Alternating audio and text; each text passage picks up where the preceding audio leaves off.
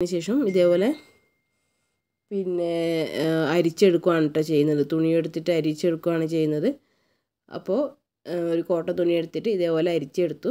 സംഭവം ഇപ്പോഴും തട്ടിമ്പുറത്തുണ്ട് അത്ര ഷെൽഫിൽ ഭദ്രമായിട്ട് എവിടെ വെച്ചിട്ടുണ്ട്. ഇതുവരെ ടേസ്റ്റ് ചെയ്ത് നോക്കിയിട്ടില്ല. അപ്പോൾ ടേസ്റ്റ് ചെയ്യുന്നൊരു വീ അടുത്തൊരു വീഡിയോ ഞാൻ അപ്പം ഇടാം. അപ്പോൾ ഇത്രയേ